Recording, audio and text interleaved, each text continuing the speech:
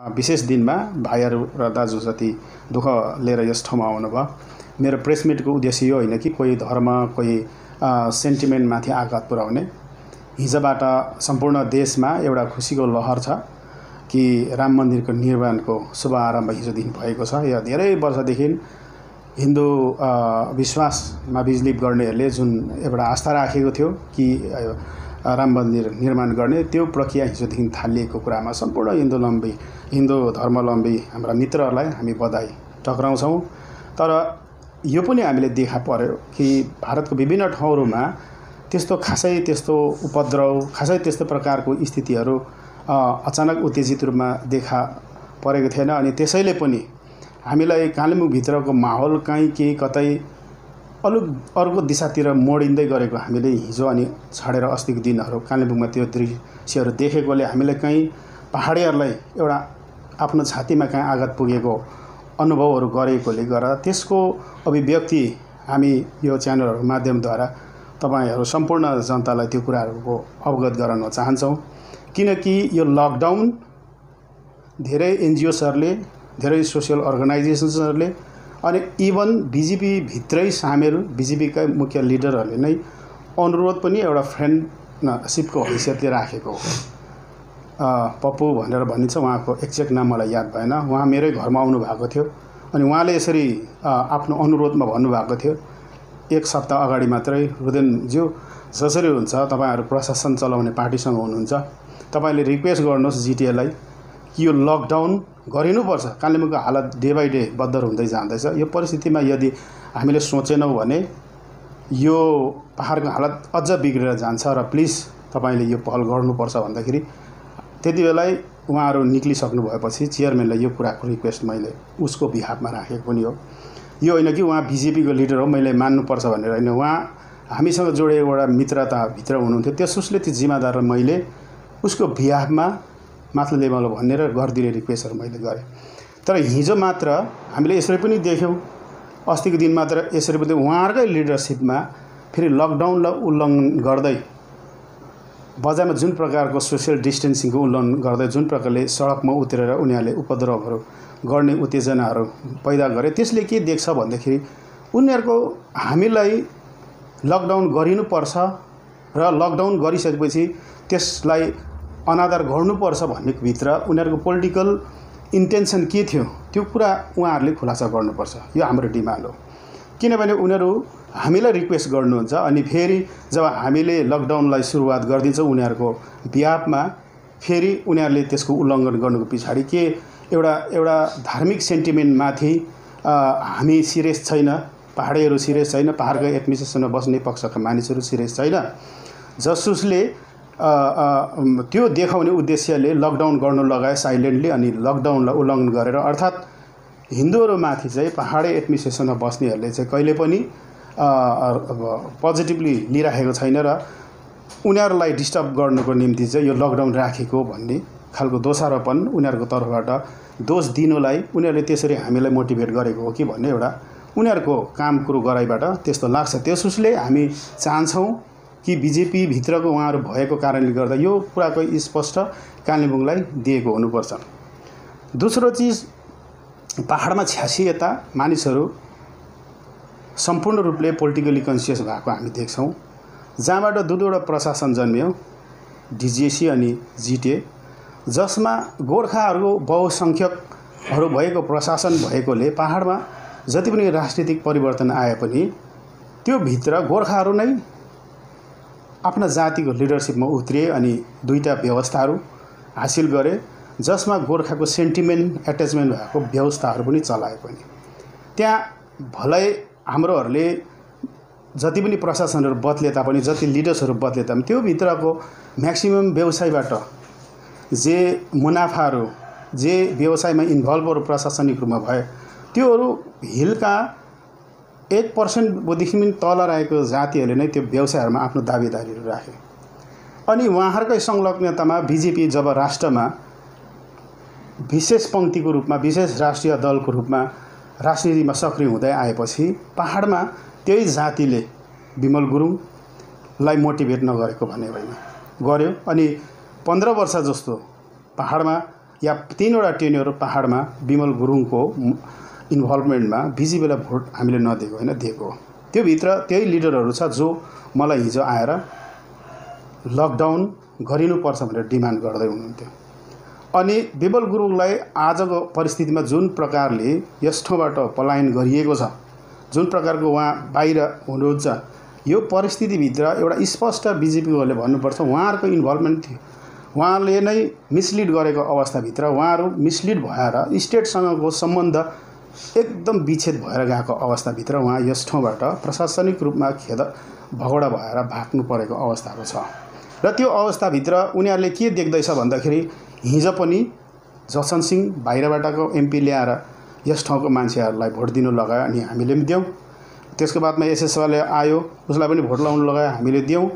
अनि त्यसको बादमा मणिपुरबाट एउटा मानिस लिएर भोट उठाउनु लगाए तब पनि हामी हाम्रोहरूले दियौँ। यो सबै घटनाक्रमहरूलाई हेर्दाखेरि अब के त्यसो भए उनीहरूलाई यस्तो लाग्नु थाल्यो पाहाडमा नेपालीहरू पाहाडका गोर्खाहरू भन्ने कुरो कुनै मतलब राख्दैन। यिनीहरूलाई जे गरे पनि हुन्छ भनेर उनीहरू के आजको दिनमा पाहाडभरिको गोर्खा जातिलाई बिर्सेर हामी फ्युले नै पाहाड पनि चलाउनु पर्छ भनेर के उनीहरू राजनीतिक रूपले प्रेरित छ त? आज एउटा प्रश्न हाम्रो अगाडि तेर्सिएको छ। आज प्रश्न यो यो अवस्था हामीले सामना गरिरहेको परिस्थितिभित्र हामी पाहाडहरू छौँ। कसरी चाहिँ एउटा पाहाड कसरी चाहिँ आज पाहाडमा एउटा फ्युभन्दा फ्यु त कसरी चाहिँ उनीहरूले यस्तो हिम्मत गर्दैछ फ्यु बिस पच्चिसजना जो हाम्रो पाहाडीहरू नाको बराबर इन्भल्भमेन्ट अनि एकजना घोष व्यक्ति जो पाहाडमा जो उनीहरू नगण्य भन्दा नगण्य पर्सेन्टेजमा उनीहरू छ अनि त्यो ठाउँभित्र उनीहरूले राजनीतिकरण कुन कारणले गर्दैछ? कि हिजोको दिनहरूमा तिनवटा एमपी त बाहिर ल्याएर यिनीहरूलाई भोट हाल्नु लगायो भने अब उपरान्त यिनीहरूलाई थिचेर हामी सबै कुरा गर्नु सक्छौँ। यत्रो मनोबल बढ्यो पाहाडमा। यो एउटा प्रश्न हरेक गोर्खा समाज र गोर्खा जातिलाई आजको दिनमा पाहाडमा तकाड भएको छ। एउटा प्रश्न उभिएको छ। हामी अब सचेत हुनुपर्छ। छ्यासी यता सायद पचास हजार करोडको टोटल कामहरू भयो होला। त्यसमा मलाई लाग्छ सत्तरदेखि अस्सी प्रतिशत व्यवसायहरू पनि उनीहरूले गर्यो हामीले नजरअन्दाज गऱ्यौँ। किनभने फाइनेन्सियली हामी स्ट्रङ थिएनौँ। त्यो कारणले गर्दा हाम्रो दाबे त्यो ठाउँमा सठिक ठहर गर्दैनथ्यो अनि त्यसको बावजुद जब बिजेपी फेरि सक्रिय हुँदै आएपछि यही जातिहरूले हामीलाई बिजेपीतिर ढल्कायो अनि हामी बिजेपी भयौँ। अनि त्यति बेला उनीहरूले पाखाको मानिसहरू ल्याउँदै उठाए। हाम्रोहरूले भोट पनि दियो अनि हामीले पनि दियौँ। आजको दिनमा सम्पूर्ण के पाहाडमा हिन्दूहरू छैन? छेत्री छ बाहुन छ भुजेल छ राई छ गुरुङ छ बहुत सारा मानिसहरू हिन्दू छ पाहाडमा। अर्थात् पाहाडको सेभेन्टी एट्टी पर्सेन्ट आज पनि हिन्दूहरू हाम्रो गोर्खाहरू छ। उनीहरूको पनि सेन्टिमेन्ट हो राम मन्दिर भन्ने कुरा। उनीहरू किन उत्तेजित भएन? र यो फ्यु जाति जो माइनस वान पर्सेन्ट मात्रै छ उनीहरू यत्रो ठुलो हो हाम्रो छातीमा टेकेर कसरी उभिँदैछ? आजको दिनमा गोर्खे छातीभित्र यो चिजहरूले हामीलाई चिडाउँदैछ। यो चिजहरूले हामीलाई उत्तेजित बनाउँदछ। र यो प्रेस मिट मार्फत सम्पूर्ण पाहाडका हाम्रा गोर्खे वर्गलाई पनि अनि प्रशासनमा बसेकोहरूलाई पनि यो कुरामाथि आफ्नो दृष्टिभङ्गी स्पष्ट रूपमा राखिनुपर्छ। यहाँ दुई जात बिचको मेजोरिटी र माइनोरिटीको कुनै लडाइँ भइसकेको दिनहरूमा यदि भएर गएको खण्डमा प्रशासन स्वयं पनि जिम्मेदार छ भन्ने कुरा हाम्रो आफ्नो स्पष्टता राख्न चाहन्छौँ। अनि यो पनि भन्छौँ ठिक छ बिजेपी यदि गोर्खा जतिको निम्ति अति उत्तम पार्टी हाम्रो निम्ति हाम्रो हितमा बहुत काम गर्छ भनेर भन्छ भने पन्ध्र वर्षभित्र छोडिदिनुहोस् पाँच वर्ष। तिनवटा टेन्युरभित्र आज छ वर्ष मोदीले एउटा बहुमतको सरकार चलायो भारतवर्षमा। उनीहरूको सबै प्रकारको माहौल पार्लियामेन्टभित्र रहँदा रहँदै। अहिलेसम्म एउटा एउटा डह्रो कुरा सायद गोर्खाहरू निम्ति यति गरिदिनुपर्छ भनेर कसैले सहानुभूतिसम्म राखेको हामीले पोलिटिकल स्टेटमेन्ट बाहेक पार्लियामेन्टभित्रको क्रियाकलापमा हामी पाउँदैनौँ। तथापि हाम्रोलाई अझै भ्रम बनाएर अझै आउँदो विधानसभाको इलेक्सनलाई आधार बनाइकन यिनीहरूले उत्तेजित भएर हामीलाई मिसलिड गरेको अवस्थाभित्र छ। हामी यति मात्रै चाहन्छौँ। उनीहरूले यति भनिदियोस् पर्मानेन्ट पोलिटिकल सोल्युसनभित्र आउँदो विधानसभा अगाडि पाहाडलाई यदि बङ्गालबाट विभाजन गरिकन एउटा सिस्टम दियोस् डिक्लेयर गरोस् हामी पनि बिजेपीभित्र उभिएर उनीहरूलाई सपोर्ट गर्नको निम्ति हामी लागि पर्नेछौँ किनकि यो पाहाड पोलिटिकली यसरी बसेको छ जो जबसम्म एउटा पर्मानेन्टली पोलिटिकल सल्युसन हुँदैन तबसम्म यो अस्थिरता सधैँ एउटा पाहाडमा बसिरहन्छ। त्यस उसले यदि पर्मानेन्टली पोलिटिकल सल्युसन जति पाहाडमा बिजेपीले गर्छ भने त्यसको कमिटमेन्ट मात्रै स्पष्ट रूपले र जो चाहिँ सेपारेट स्टेटदेखि गरिन्छ भने त्यो कुराको उनीहरूले स्पष्टसँग राख्नुपर्छ अनि हाम्रो अर्को डिमान्ड हो विमल गुरुङलाई किन चाहिँ बिजेपीले यत्रो एउटा भिक्टिमाइज गरेर बाहिर राखेको छ? उनीहरूकोमा सबै प्रकारको कानुन व्यवस्था सबै कुरा उनीहरू सेन्ट्रलको तागतभित्र आउँछ। र उसलाई किन भित्राउँदैन यो सबै कुरा एउटा प्रश्न अगाडि बिजेपी हामीसँग सिरियस छैन अनि यहाँका प्रभुत्वमा बसेका नेतृत्वहरूलाई निष्क्रिय बनाएर उसको सेन्टिमेन्टलाई चाहिँ भोट ब्याङ्क बनाउनुपर्छ भन्दा ठुलो कुराहरूले यिनीहरू प्रेरित छैन। त्यसोसले हामी प्रश्न गर्छौँ जो बिजेपीभित्र बजारभित्रका मडवारी दाजुभाइहरू एउटा दुईवटा बङ्गाली दाजुभाइहरू उत्तेजित भएर मेन रोडमा हिँड्दैछ। तपाईँहरूलाई स्पष्टसँग हामी चुनौती दिँदै भन्छौँ। तपाईँहरू हाम्रो जातिको सेन्टिमेन्टसँग जुन प्रकारको खेलवाड गर्ने प्रयास गर्दै हुनुहुन्छ यदि तपाईँको विचारधारा बदलिएन र यथावत राख्नुभयो भने तपाईँहरूको अगाडि हामी च्यालेन्ज यो राख्न चाहन्छौँ कि अब हामी छ्यासीको आसपासको गोर्खाहरू होइनौँ। हामीसँग व्यवसाय गर्ने हामीसँग पनि तागत छ हामीसँग व्यवसाय गर्ने हामीसँग विवेक अब फस्टिएको छ। त्यो कारणले गर्दा तपाईँहरूले आफैलाई मात्रै अग्रमपन्थीको सोचेर हरेक अवस्थामा मिसलिड गरेर जे गर्दा पनि हुन्छ यो गोर्खाहरूलाई भनेर हाम्रो छातीको अगाडि तपाईँहरूको खस्रो पाइलाले नटेकोस् भने हामी तपाईँहरूलाई चुनौती दिन्छ। अनि एउटा साधारण जनताको हिसाबले म भारतीय साधारण जनताको हिसाबले यो पनि प्रश्न गर्छु छ वर्षको टेन्योरभित्र नरेन्द्र मोदीको सरकारले अर्थात् बिजेपीको सरकारले भारतको ग्रामीण स्तरका मानिसहरूलाई एउटा चिज जो अलग्ग युपिए सरकारले हिजो इन्ट्रोड्युस गरेको पोलिसी बाहेक एनडिए सरकार बिजेपीको जति बेला अटल बिहारी वाजपेयी हुनुहुन्थ्यो उति बेला दिएको इन्ट्रोड्युस गरेको गभर्मेन्टको स्किम्स बाहेक बिजेपी सरकार आएपछि यता भारतीय ग्रामीण इलाकालाई नयाँ गरी like MGNREGS like PMGSY like आरआइडिएफदेखि छोडेर अर्थात् टोटल सेनिटेसन क्याम्पेनको नाम बदलाएर स्वच्छ भारत ग्रामीण अर्थात् टोइलेट बनाउने दुई हजार चौधको अक्टोबर दुई तारिक लन्च गरेको टोइलेटको प्रोजेक्ट बाहेक यो प्रोजेक्टहरू हिजैबाट सञ्चालित थियो टिएससीको नामले। यो प्रोजेक्टहरू बाहेक ग्रामीण जीव जीवनलाई उचाल्नुको निम्ति भारतीय जनता पार्टीले भारतमा सक्षम सरकार प्रदान गरे त बहुमतमा सक्षम सरकार प्रदान गरी सङ्ख्या बलले सक्षम सरकारमा उनीहरू अस्तित्वमा आएपछि भारतवर्षको ग्रामीण स्तरमा हामीलाई दिएको कुरा के हो? मोडल भिलेज बनाउने अनि मोडर्न स्मार्ट सिटीहरू बनाउने यी कुराहरू हामी सबैबाट आजसम्म पनि वञ्चितै छ। त्यस उसले कुन कुरामा हामी उनीहरूसँग मोहित हुनु र उनीहरूको कुरा मानेर हामी जातिगत दृष्टिकोणबाट माथि उठेर जा जातिगत सङ्कीर्ण कुराहरूदेखि माथि उठेर यति ब्लाइन्ड हुनु कि अँ यो दुईजना तिनजनाले भने तापनि भारतमा सठिक नेतृत्व आएको छ जसले हामीलाई यी कुराहरूको नाफा छ यी कुराहरूको बेनिफिट हामी लिन पाएको छौँ भनेर हामी सन्तुष्ट हुन्छ। त्यस उसले कुनै पनि आधारमा बिजेपी हामी पाहाडमा चाहँदैनौँ जसले पन्ध्र वर्ष गोर्खाको सेन्टिमेन्टसँग खेलबार गरेको छ। यहाँका विशेष प्रभुत्व भएको नेताहरूलाई यहाँबाट खेदेर ऊ माथि रहेका सेन्टिमेन्टका भोटलाई ब्याङ्क बनाएको छ। त्यो कुरा हामी बिजेपीलाई पाहाडमा आउँदो दिनहरूमा शक्तिले जस्तै कम्प्रोमाइज गर्नु पाए तापनि शक्तिले हामी ती सबै कुराहरूको सामना गर्छौँ। त्यस उसले सचेत होस्। मैले लिखित रूपमा भन्दैछु विशेष पप्पु गर्गले लिखित रूपमा दिएको हुनुपर्छ। कुन उद्देश्यमा उसले मेरो घरमा आइकन लकडाउन गरिनुपर्छ भनेर रिक्वेस्ट गर्यो अनि त्यसको लकडाउनको उद्देश्य गर्नुको पछाडि यसको कारण उसले स्पष्ट नगरेको खण्डमा हामी यसको घोर प्रतिवादको निम्ति जे पनि गर्न हामी आगामी दिनमा प्रोग्राम गर्नेछौँ। देख्दैछौँ नि। धेरै नेताहरू छ है अब धेरै पार्टी पोलिटिकल पार्टीहरू। उनीहरू एक ठाउँदेखि अर्को ठाउँमा गएर जनसभाहरू गर्ने आफ्नो पार्टीको कार्यकर्ताहरूलाई त्यो मिटिङहरू गर्ने कार्य गरिरहेछ है। तपाईँहरूकै अब पार्टीको अब अमिर बस्नेतले भनेको यो लकडाउन भनेको चाहिँ अब सहरदेखि टाउनदेखि बाहिर नजाने गाउँको मान्छे त्यहीँ बस्ने सहरको मान्छे त्यहीँ बस्ने है। तर त्यसको उल्लङ्घन जस्तो भइरहेको छ नि। त्यसमा चाहिँ तपाईँ त्योहरू भएको छ भाइ। त्योहरू भएको छ तर त्योभित्र नि जे भए तापनि हरेक पार्टीकोले सायद भित्र बाहिर काम गरिरहेको छ। भए तापनि त्योभित्र गोर्खाहरू आफै नै इन्भल्भ पनि छ। हाम्रो उद्देश्य र आजको परिस्थितिमा हामीमाथि हाम्रो बारी बगैँचामा हाम्रो किचनमा हामीले खाने भाँडामा कसैले लात लाउँदै गरेको उत्तेजना हो। हाम्रो आजको भेटघाट। हामीले सानो सानो कुराहरू देखिरहेछौँ उल्लङ्घनहरू भइरहेछ त्यो कुरा भइरहेछ। तर यदि हिजोको दिनमा बिजेपीसँग संलग्न हाम्रो गोर्खाहरू आएको भए पनि सायद हामी यति ठुलो प्रकारले यसको विरोध गर्न सायदै हामीले नठिक ठान्थ्यौँ।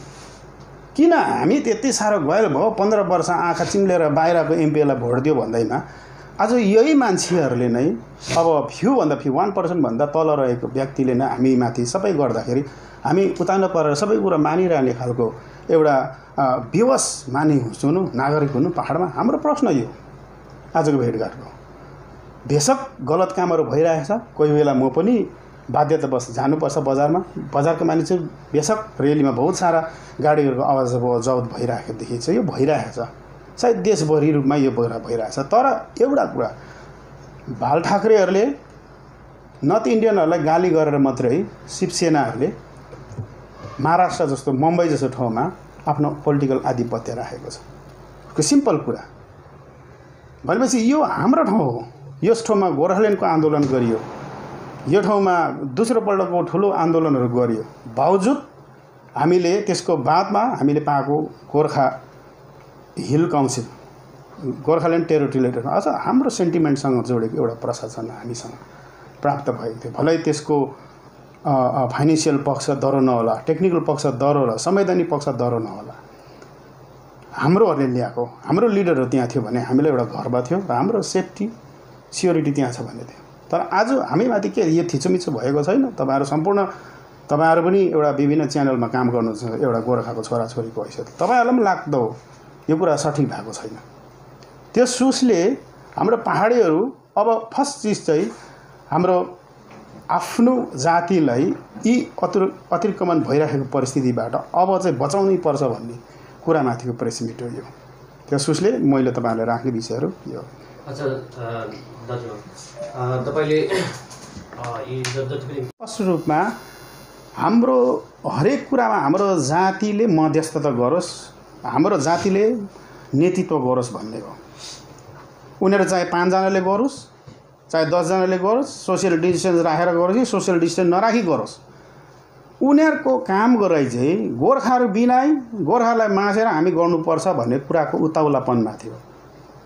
हामीले यो भनेनौँ कि म टेक्निकली कुरामा गएको छैन। प्रशासनले के गर्छ द्याट इज यर साइट त्यो द्याट इज देयर साइट हो। उनीहरूको प्रब्लम हो। उनीहरूको रेस्पोन्सिबिलिटी हाम्रो तर्क चाहिँ यहाँ हो कि के गोर्खाहरूमा त्यसो भए बिजेपीको समर्थकहरू छैन? गोर्खाहरूमा त्यसो भए के मन्दिर बनाउने कुराहरूमा सपोर्टमा छैन? छ त। सबै कुरा छ त। तर गोर्खाहरू नै चाहिँ यहाँको व्यवस्थालाई रेस्पेक्ट गर्नु गोर्खाहरू चाहिँ लकडाउनको मान्य गरेर त्यो कुराहरूमा सामेल नहो उनीहरू चाहिँ माइनस गोर्खा पनि पाहाडमा अब हामी सब कुरा गर्नु सक्छौँ भनेर उनीहरू उताउला चाहिँ किन भएको? विषय चाहिँ यो हेर्नुहोस् प्रशासनले के गर्छ? प्रशासनलाई सोध्नुहोस् त्यो एक्ज्याक्टली एक्ज्याक्टली उनीहरूको आक्रोश भनेको प्रशासनको विरुद्धमा थियो। होइन हामीले भनेको चाहिँ आ त्यो त घटना घटिसकेको कुरा हो नि त। घटना घटिसकेको कुरा हो। घटना घटिसकेपछि उनीहरू आक्रोशमा आउनु। टेक्निकल ग्राउन्डमै हेर्नुहोस् एउटा टेक्निकल ग्राउन्डमा प्रशासनले के देख्यो? तपाईँ डिएम छ एसपी छ यु क्यान आक्स द क्वेसन उनीहरूसँगको मेरोसँग कुरो चाहे पन्ध्रजना होस् कि बिसजना गरोस् उनीहरू हाम्रो पाहाडेहरूको अस्तित्वमाथि लात मारेर उभिएको सिचुएसनमाथिको कुरा खरा हो। हाम्रो प्रश्न हो हाम्रो क्वेसन हो। उसको त्यसको बादमा उनीहरूलाई कानुनले के भन्यो? कानुनको उल्लङ्घनको टेक्निकल साइडमा प्रशासनले के भन्यो? प्रशासन मेरो लागि माइने होइन। मेरो एउटा कुरा हो कि हाम्रो पहाडीहरू चाहिँ यति असक्षम भयो अझ फ्यूभन्दा फ्यू एउटा मानिसहरूले दमनको रूपमा पाहाडमा उभिएर गर्दाखेरि हामीलाई यहाँ छातीमा चिउँदैन। यो कुरा हो। त्यसको मतलब कालेबुङको मेन रोडमा ओर्लिने अधिकार केवल पाहाडीलाई मात्र छ पाहाडै भनेपछि जो गोर्खावासीहरूलाई मात्र छ। यस्तो छ हेर्नुहोस् यो चाहिँ एउटा कुरा यो चाहिँ एउटा कुरा यदि मारवाडीलाई थिचोमिचो भयो मारवाडीलाई थिचोमिचो भयो उनीहरूले त्यो विषयमा त्यसको प्रोटेस्ट गर्नु पाउँछ। यो धार्मिक कुरा पाहाडमा पनि हिन्दूहरू छ बिजेपीको सपोर्टर्सहरू छ। बाई नट उनीहरूलाई चाहिँ माइनस गरियो? क्वेसन त्यहाँ आउँछ उनीहरूलाई चाहिँ किन माइनस गरियो? प्रश्न चाहिँ त्यहाँ हो। सुन्नुहोस् न यो तपाईँले जुन बयान दिनुहुँदैछ नि हजुर। यो चाहिँ तपाईँको एउटा गोर्खा भएर दिनुहुँदैछ कि यो पार्टीको तर्फबाट यो मेरो हेर्नुहोस् गोर्खा हो। म पाहाडै हो। बहुतजनाले हामी फोनमा पनि इन्टरेक्टहरू गरिराखेका छौँ। एउटा गोर्खाको हैसियतले जलेको कुरा हो। नत्र भने सायद म पार्टीको मान्छे यता राख्थेँ होला। भोलि दिनमा यो कुराहरूबाट निक्लेर यसको नेगेटिभ पोजिटिभ पक्षहरू पनि होला। हुनसक्छ भोलिको दिनमा पार्टीले यो रुदेनको व्यक्तिगत बयान पनि हुनसक्छ भन्ला। त्यो कारण यस ठाउँमा रुदेन लेप्चा गोर्खा जनमुक्ति मोर्चाको सेन्ट्रल कमिटीको पोस्टको हैसियतले यो कुराको बयान होइन। यो मेरो व्यक्तिगत कुरा हो कि पाहाडमा यति साह्रो थिचोमिचो नहोस् हामी चाहन्छौँ पाहाडीहरू अब सम्पन्न हुनुपर्छ। हामी चाहन्छौँ पाहाडहरू इन्टरप्रेनर हुनु सक्नुपर्छ चाहन्छौँ यहाँको जवानहरूले व्यवसायको अवसरहरू पाउनुपर्छ। त्यो माहौल खडा गर्दैछौँ। तर आज एउटा पार्टिकुलर एउटा जातिले हिजोदेखि जो फाइनेन्सियली उनीहरू साउन्ड भएको कारणले गर्दा हरेक व्यवसायको बागडोरहरू उनीहरूसँग रह्यो।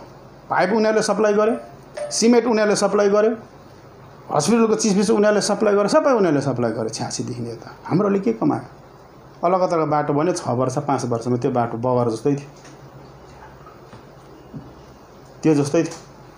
तर त्यत्रो अब प्रभुत्व जमाउने कि हरेक कुरामा अब उनीहरू लिडरसिप पनि गर्ने अगाडि एउटा प्रश्न हो। त्यो कारणले हामी भन्छौँ च्यालेन्जको साथमा। हामी त्यस्तो कुराको चाहिँ एउटा गोर्खाको हैसियतले जुनै पार्टी र जुनै व्यक्तिले यो कुराको साथ दिन्छ हामी त्यहाँ उभिएको हुन्छ र साथ दिन्छौँ। यो एउटा पार्टीगत कुरा होइन यो। यहाँ हामी बाहिर निक्लिनुपर्छ यस्तो कुरामा। दाजु एउटा तपाईँले एउटा क्लियरिफिकेसन दिनुपर्छ उनीहरूले त्यो लकडाउन गर्नुपर्छ बढाउनुपर्छ क्लियरिफिकेसन दिनुपर्छ भनेर नि। यदि उनीहरूले आएर दिएन तपाईँलाई दिएन भने तपाईँको फर्दर स्टेप के हुन्छ? हामी उनीहरूको घर हेर्छौँ। सिधा कुरा छ। किन मिसलिड गर्यो? कहिलेसम्म चाहिँ अल्टिमेटम दिनुहोस्? पाँच दिन। हामी कसरी चाहिँ उनीहरूले हामीलाई मिसलिड गर्यो? हामीलाई मिसलिड किन गर्नु? घरमा आएर रिक्वेस्ट गरेको। घरमा आएर रिक्वेस्ट गरेको। किन मिसलिड गर्नु? अनि फेरि त्यहाँबाट चाहिँ गएर उनीहरूले त्यसको उल्लङ्घन किन गर्नु? उनीहरूले भन्यो कालिम्पोङको all business committee are ready to cooperate तपाईँले लकडाउन गरिदिनुहोस्। भनेपछि त्यो सिद्धान्तहरूमाथि धेरैले एनजिओसहरूले कति एनजिओसका ग्रुपहरूले गएर जिटिएका चेयरम्यानलाई भेटेर अ, त्यो आफ्नो रिक्वेस्ट गरेको चिठीहरू पनि मैले प्रेस मार्फत जान्न पाएको हो। अनि ऊ पनि एउटा व्यक्तिगत एउटा मित्रताको हिसाबले उसले आएर मलाई नै घरमा रिक्वेस्ट गरेको। त्यो जिम्मेदार त उसले लिनु पर्यो। किन मिसलिड गर्दै थियो कसैलाई उसले? यो पप्पु घर समथिङ के भन्छ उसको नाम मलाई याद भएन सबैले पप्पु भनेर चिन्छ। आरसी मिन्त्रीमा उसको घर छ। त्यो कारणले गर्दाखेरि चाहिँ उसले यो कुराको स्पष्टता दिएन भने हामी शक्तिले पेस आउँछौँ। चाहे उसले डायरी गर्दा हुन्छ एफआइआर गर्दा हुन्छ। त्यो कुराको हामी खाँचो राख्दैनौँ तर हामी स्पष्ट रूपमा भन्छौँ यी नामर्द भएर चाहिँ बस्दैनौँ हामीले यत्रो घरमा आएर एउटा मित्रताको फाइदामा यत्रो कुराको लागि इन्भल्भ गराउनु अनि त्यो कुराको उल्लङ्घन ऊबाट हुन्छ भने यो एकदम त्यो असहनीय यो यो कुरालाई हामी सहन गर्ने छैनौँ। तपाईँले भन्नुहुँदा चाहिँ पार्टीले भोलिको दिनमा सपोज तपाईँलाई सपोज गरे पनि यो उसको आफ्नो बयान हो भने। सपोज त्यस्तो भयो भने तपाईँको टेक चाहिँ के हुन्छ? मेरो हेर्नुहोस् मैले यो सम्पूर्ण पाहाडे गोर्खाको पक्षमा बोलेको चिज हो। चाहे यसलाई कसैले पोजिटिभ लिउन् कसैले यसलाई नकारात्मकको हिसाबले लिउँ त्यो कुरा मेरो लागि व्यक्तिगत भएर रहन्छ। किनभने मैले साहस गर्ने ठाउँमा यो कुरा गरिदिनु थियो। एउटा गोर्खाको हैसियतमा। किनभने हेर्नुहोस् है लेप्चाहरू आन्दोलन कालमा अ- अलग भएर लडे तापनि मैले रुदेन लेप्चाले चाहिँ पाहाडमा सम्पूर्ण गोर्खाभित्र रहेर काम गरेको। यो विषयमा बहुत लिबरल छु म। हेर्नुहोस्। त्यो भित्र बसेको। र त्यसरी गरेको। अनि पाहाडेहरूको हितमा मेरो बलबुत्ता र मेरो विवेकले जति पर्मिट र त्यो योग्यता राख्छ त्यो भित्र सम्पूर्णको लागि गर्नुपर्छ भनेर मैले आफ्नो जिम्मेदार लिएको हो। आजको अवस्थामा जुन एउटा नामर्द बनाएको परिस्थितिभित्र पनि म एउटा गोर्खा दाजुको हैसियतले भाइको हैसियतले छोराको हैसियतले यति भन्नुपर्छ कि हामीलाई केही छिचोमिचो हुँदैछ कोहीदेखि। त्यो कारणले गर्दाखेरि हामी के एउटा आरएसएस गर्ने व्यक्ति चाहिँ यो पाहाडमा एकजना शर्मा हुन सक्दैन। त्यसको लिडरसिप एउटा बङ्गालीको हातमा छ पाहाडमा आज आज राज पनि बन्दोपाध्यायले गर्ने बुद्धदेव भट्टाचार्यले गर्ने दिलीप घोषले गर्ने यहाँ आएर एउटा नाथे आरएसएसको लिडरसिप पनि एउटा घोषले गर्ने अनि त्यो मानिसहरूले उत्तेजित गरेर यो ठाउँमा त्यही जातिहरू माइनोरिटीमा बसेको जातिलाई मुख हालेर फ्यु भन्दा फ्यु माइनस वान पर्सेन्ट सायद त्यो जातिले नै हामीमाथि थिचोमिचो गर्ने हाम्रो स्पष्ट अडान छ। यो कुरामा हामी यति लिबरल हुन सक्दैनौँ। यति उदारवादी हुन सक्दैनौँ। त्यो कारणले गर्दा यहाँ काहीँ हामीलाई गोर्खा छोराको हैसियत मेरो छातीमा कुल्चेको अनुभव भएपछि म यो कुरा तपाईँहरूको माझबाट सम्पूर्ण जनसाधारणलाई सार्वजनिक गरिरहेको हेपिरहेको छ एकदम। त्यसमा कुनै दुई मत छैन। त्यो स्पष्ट हो। हेपिरहेको छ। यो कालिम्पोङमा स्पष्ट देख्यो। एउटा घोष जसले कालिम्पोङमा आरएसएस चलाउँछ उनीहरूको लिडरसिपमै यो काम भएको। त्यहाँ को गोर्खा मान्छे थियो जसलाई चाहिँ हामीले कालिम्पोङको लिडर भनेर मान्न सक्ने परिस्थितिको एउटा व्यक्तित्वको उपस्थिति थियो? यो स्पष्ट कुरा हो। सायद अरूले डिप्लोमेटिक पाराले घुमाएर भन्ला। यो कुरामा यो कुरामा म कुटनीतिक हुन सक्दिनँ यो कुरामा म डिप्लोमेटिक हुन सक्दिनँ मेरो स्पष्ट टेक हो स्पष्ट भनाइ दाजु तपाईँको कुराले गर्दा त काहीँ न काहीँ एउटा साम्प्रदायिक है एउटा सौहार्दता बिग्रिने एउटा सम्भावना छ एउटा खतरा देखिन्छ। बहुसङ्ख्यकले अल्पसङ्ख्यकमाथि है। हमला गर्ने या त कुनै पनि प्रकारको हत्कण्डा अप्नाउने एउटा सम्भावना या खतरा बढेर जाँदछ। यसलाई लिएर तपाईँको तयारी कस्तो छ? होइन हेर्नुहोस् भाइ सबभन्दा ठुलो कुरो चाहिँ पाहाडमा नि साम्प्रदायिक कुरा गऱ्यो भने लाप्चेले राईलाई कुट्छ लिम्बूले गुरुङलाई कुट्छ हो भोटेले तामाङलाई कुट्छ अलग अलग हो। तर सम्पूर्णमा हामी गोर्खा हो पाहाडैहरू हौँ तर यहाँभित्र जे नै भए पनि एउटा बाहिरबाट आएको मानिसहरू जो व्यवसाय व्यवसायको लागि आएको मानिसहरूसँगको हाम्रो स्पष्ट च्यालेन्ज हो यो। जोहरूले व्यवसाय गरे हामीसँग मिलेर काम गर्दैछ। हामी हेप्पी छौँ खुसी छौँ। तर आजको दिनमा पाहाडको राजनीतिक गतिविधिहरूमा पनि उनीहरूले थिचोमिचो गर्दा हाम्रो आक्रोश हो यो उनीहरू यस्तोबाट भाग्नुपर्छ भन्ने कुरा होइन तर पाहाडेहरूले नै पाहाडेहरूको नेतृत्व गरोस् लिडरसिप गरोस् भन्ने हाम्रो डिमान्ड हो हाम्रो कुरा हो। यहाँ जातिगत दुई मतको कुरा होइन उनीहरू यहाँबाट खेदिनुपर्छ हराउनुपर्छ भाग्नुपर्छ भन्ने होइन। They are doing their business they can do अनि हामीसँग भएर पोलिटिक्स गर्छ भने वी अलवेज वेलकम देम तर हामी पाहाडको मेजोरिटी पक्षकोलाई फ्युले यदि दमन गरेर सबै प्रकारको जसरी बिजेपीको विभिन्न क्यान्डिडेटहरू पाहाडबाट दियो त्यसरी नै यदि उनीहरूले गर्छ भने त्यो कुराको चाहिँ सहन गर्दैनौँ। त्यसमा कमसेकम जातीय पाहाड पाहाडभित्र के? त्यसो भए बिहारमा गएर कोही बङ्गाली चिफ मिनिस्टर भएको देख्नुहुन्छ? बङ्गालभित्र कोही बिहारी चिफ मिनिस्टर भएको देख्नुहुन्छ? स्पष्ट छ। यो हाम्रो ठाउँ हो। हाम्रो लिडरसिपमा पाहाड चलेको हुनुपर्छ हाम्रो डिमान्ड यसमा जातीयताको सङ्कीर्णताको कुराहरू होइन। हाम्रो अस्तित्व र हाम्रोहरूले नै प्रतिनिधित्व गरेको सरकार चलोस् पार्टी चलोस् भन्ने हाम्रो उद्देश्य हो। यसमा जातीय हीन भावनाको कुरा होइन कि मेजोरिटी र माइनोरिटीको झगडाको कुरा होइन यो। हाम्रो ठाउँ हो जसरी बिहारमा यादव र प्रसादले राज गरेको छ बङ्गालमा बन्दोपाध्याय र भट्टाचार्यहरूले गरेको इतिहास छ। यहाँ पनि पाहाडेहरूले कोही राईले लिम्बूले लाप्चेले कामीले दमैले गरोस् गरोस्। तर उनीहरूको थिचोमिचो र उनीहरूले हामीलाई जुन प्रकारले हिजोदेखि बाहिरको मान्छेलाई भोट हाल्नु सिकाएर सिकाएर हामीलाई हेबिट बनाएको छ। अब लिडर पनि के त्यसो भए उनीहरूलाई बनाउनु? हाम्रो प्रश्न त्यहाँ माथि हो। तर तपाईँले जुन है व्यक्तिहरूलाई तपाईँहरूसित पनि त्यो छ। किन छैन छ। तपाईँहरूसित पनि त्यो छ। त्यसले गर्दाखेरि त्यो त्यो- त्यही समुदायको एक पक्षलाई है एक पक्षलाई तपाईँले तारो बनाउनुहुन्छ उनीहरूलाई काहीँ न काहीँ असुरक्षित महसुस गराउनु हुँदैछ भनेदेखिको त्यही त्यो त भाइ यहाँ त यहाँ सुरक्षित बस्नेहरू नै अरक्षित भएको प्रश्न हो यो। यहाँ तिमी भन्दैछ मैले त डाइरेक्ट भन्थेँ। तर उनीहरूको एक्टले हामीलाई असुरक्षित बनाउँदै गरेको तपाईँलाई अनुभूति भएन। या कुरा त त्यहाँ हो नि। आज हामी पाहाडेहरूभित्र उनीहरूले दमन गर्दै गरेको उनीहरूको काम गराइदेखि हामीले बुझिराखेको छौँ भने तपाईँहरूले आफैलाई सुरक्षित महसुस गरिरहेको अनुभव गर्नुहुन्छ पाहाडमा। त्यो कारणले गर्दा त्यसो गरेर जब म सुरक्षित छुइनँ मेरो अस्तित्वको लडाइँ लड्ने तपाईँ र मेरो अधिकार हो र तपाईँ र मेरो स्वाभिमान हो नि। कुरा त्यो तपाईँ र मेरो स्वाभिमान हो तपाईँ र मेरो त्यो अधिकार हो। त्यो बाटो कसरी वञ्चित हुनुहुन्छ? हाम्रो भनाइ चाहिँ यहाँ मेजोरिटी र माइनोरिटीको लडाइँ होइन त्यति हामी उदारवादी छौँ। उनीहरूले सबै कुरा गर्नु सक्छ। तर यसो उनीहरूको उभ्याइले उनीहरूको इन्भल्भ भएले राजनीतिकमा इन्भल्भ भएले त्यो मनोबल बढेको छ कि हामीले यति बेला बाहिरको मान्छे ल्याएर उठाइदिउँ यति बेला बाहिरको मान्छेले यो पालि पनि बाहिर ल्याएर उठाइदिउँ। अब अब चाहिँ हाम्रो टाइम आयो नाउ इलेक्सन इज कमिङ अब let's be leader our self भनेर उनीहरूले त्यो मनोभाव लिएर पाहाडेहरूलाई एक प्रकारको सिचुएसनमा खडा गरेको छ। र हामी असुरक्षित भइकन अरूको सुरक्षाको निम्ति किन सोच्नु? हामी सुरक्षित छौँ त्यसो भए हामी असुरक्षित छ भने अर्काको सुरक्षाको किन चिन्ता? हामी सुरक्षित छ भने उनीहरूको सुरक्षा हाम्रो सेकेन्डरी सब्जेक्ट हो। फर्स्ट मेरो प्राइमेरी सब्जेक्ट माई सेक्युरिटी हो। हरेक माओवादीलाई तपाईँ बिजेपी देख्नुहुन्छ। त्यस कारणले गर्दा अघि भन्नुभयो बिजेपीको प्रवेशमाथि अथवा बिजेपी हामी चाहँदैनौँ भनेर तपाईँले अघि नै सुरुमै होइन भाइ यस्तो हो। सबै कुरा मेजोरिटीको कुरालाई आउँछ। भोट कसले जित्यो भन्दा बिजेपीले सजिलो भन्नु सक्छौँ। तर हरेकले बिजेपीलाई भोट हालेन। कुरा त्यस्तै हो नि त। हामीले बिस पच्चिस पर्सेन्ट जे पायो हामीले एगेन्स्ट बिजेपी भोट गरेका थियौँ। तर पाहाडमा कसले जित्यो भन्दा बिजेपीले जित्यो भने चाहिँ किन बहुसङ्ख्याको कुरा आउँछ।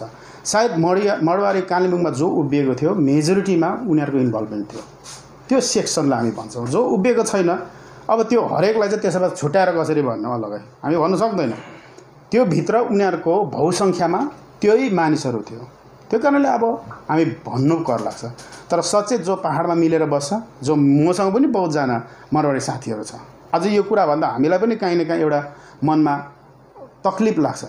तर अब भन्दाखेरि मैले अलग भनेर सेपारेट भनेर भिन्नु पर्दैन। पाहाडमा पाहाडले कसलाई भोट दियो भनेर सिलगढीमा भन्ने छ त बिजेपीलाई भोट दियो भन्छ। तर बिस पच्चिस पर्सेन्ट त बिजेपीलाई भोट दिएको थिएन।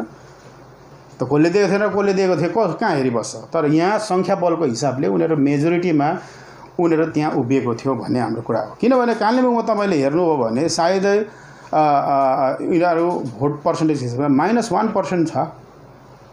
माइनस वान पर्सेन्ट छ। अझै माइनस वान पर्सेन्टको माइनस वान पर्सेन्ट छ। त्यो कारणले गर्दा खासै केही होइन। तर त्यसको बावजुद पनि हामीले गोडमेल गरेको हाम्रो बाउबाजेले गोडमेल बाजेको छ उनीहरूको आधिपत्य हुँदै जाँदै छैन भन्ने एउटा प्रश्नभित्र हाम्रो सेक्युरिटी ठिक छ। हामी सुरक्षित छौँ। भन्ने प्रश्न आइराखेको अवस्थाभित्र कतै असुरक्षित हुँदैछ है भनेर भन्ने परिस्थितिभित्र मैले भनेको कुरा। र हामी असुरक्षित छौँ भने अर्काको सुरक्षाको ख्याल गर्नु हुँदैन। पहिला हामी सुरक्षित हौँ त्यसको बादमा लेट्स सी अरूको पनि सुरक्षा दिउँ गरौँ। त्यो सेकेन्डरी विषय हो नि। म असुरक्षित हुँदै गएको भित्र लागेको यो सिचुएसनभित्र मैले तर्क राख्नुपर्छ मैले बोल्नुपर्छ भनेर म आफ्नो अडानलाई राख्दा म स्पष्ट राख्छु। सुन्नुहोस् तपाईँले यो गोर्खाको हितमा यो बयान दिनुभएको होइन? त्यसरी नै अब यसै अब गोर्खाकै कुरा गर्ने हो भने अहिले अफिसतिर प्रायः प्रायः बाहिरबाट मात्रै कर्मचारीहरू आउँदैछन् अब अनेपालीहरू नै अब गोर्खाहरू नै आउँदैछ। हिजो अस्ति मात्र एउटा फरेस्टको एउटा इन्टरभ्यूमा पनि। साठी पर्सेन्ट मार्क्स चाहिँ बङ्गालीको हुनुपर्छ भने यो विषयहरूलाई पनि तपाईँहरूले अगाडि अनि बढाउनु त्यो विषय तपाईँहरूले प्रशासनिक रूपमा माथिबाट के पठाएको हेरिरहेछ तर यहाँको लिडरहरूले आफ्नो पक्षलाई लिखित रूपमा रिक्वेस्ट गरेर पठाएको चिठीहरू गोर्खा लिडरहरूले पुरा गरेको छ। सर्वप्रथम अनित थापाले एज चेयरम्यान जिटिए। त्यो विषयको रिक्वेजेसन मिनिस्ट्री अफ फरेस्ट डिपार्टमेन्टलाई पठाइसकेको छ कि यसको संशोधन हुनुपर्छ पाहाडमा यी चिजलाई अलग पाराले कन्सिडर गर्नुपर्छ। अनि मैले भुल गरिनँ भने निरज जिम्बाबाले त्यो लेटर गरेको छ। हेर्नुहोस्। माथिबाट एउटा कुरा गर्नु र इम्पोज गर्नु र इम्प्लिमेन्ट गर्नु एउटा ठाउँमा हो। तर हाम्रो लिडरहरूले त्योपट्टि नजरै अन्दाज गरी पठाउनु अर्कै चिज हो। तर हाम्रो लिडरहरूले यो कुराहरूमा नजर अन्दाज गरी पठाएको छ भन्ने चाहिँ लाग्दैन। केही हदसम्म त्यो लिडरसिपहरूले आफ्नो जिम्मेदार पुरा गरेको छ। त्यो विषयमा केही संशोधन एउटा नयाँ नोटिफिकेसन निक्लिन सक्छ। अब त्यो तपाईँ र मैले पर्खिने चिज हो। किनभने इमिडिएट सायद यो कुरालाई प्रक्रियालाई किनभने हायर एथोरिटिजलाई मैले सोद्धाखेरि जबसम्म पाहाडको लागि सेपरेट हुँदैन यो प्रक्रिया अहिले यिनै स्थगित हुन्छ भनेर दुई चारजना अफसर्सहरूले मलाई त्यसरी पनि बतायो। त्यो कारणले हामी त्यसलाई पर्खेर बस्न सक्छौँ र त्यसको एउटा सकारात्मक नतिजा निक्लिन्छ भनेर हामी आशा गर्न सक्छौँ।